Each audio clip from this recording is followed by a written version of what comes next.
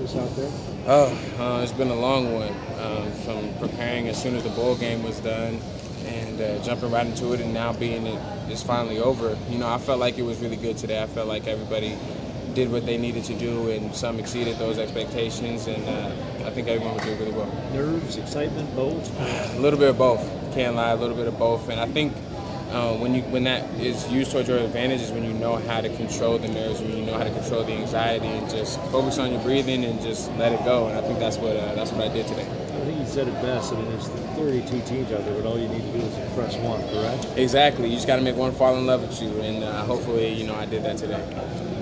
Was there one thing in specific that you were working on that you wanted to show people who were watching? Um, I think the 40, uh, obviously, I mean, that's one of the biggest and one of the most important.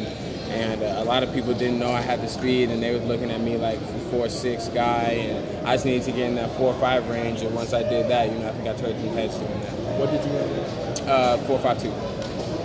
And then, uh, you know, also running routes too, just showing people that I can still run routes, I can cut on my foot, and there's no problem to me, and I'm not thinking about it, and uh, just looking fluid with everything that I do. So How is your foot?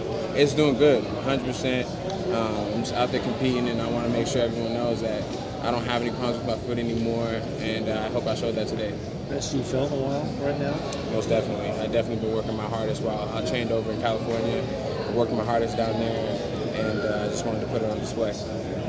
How, I mean, just knowing that you're so close to this next adventure in your life, I mean, just talk about that.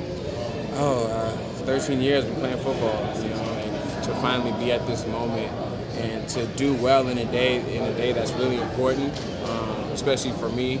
Uh, it's just every single day it's a step closer to your dream, and if you go, let one day go to waste, then you know you're not taking advantage of that day. So what I'm trying to do is take advantage of every single day because I know that I deserve to play up at that next level, and I know that I can shine at that next level.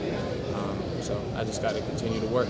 For me just a role model along the way for you to get here to this point? Was there a role model? Yeah, yeah. Um, I mean, obviously my dad, he's definitely high on that list, and just a lot of people who've been in my life, a lot of family who's been around for a long time, um, and just continue to put in a good word in, in, in my ear and continue to push me to that next level, even when I'm tired or when I'm down on myself or whatever. Um, I, always, I always have that support with family because you know they're the ones that are always going to have my back. Awesome. Nice job. Thank Thank you. Thank you, Kevin.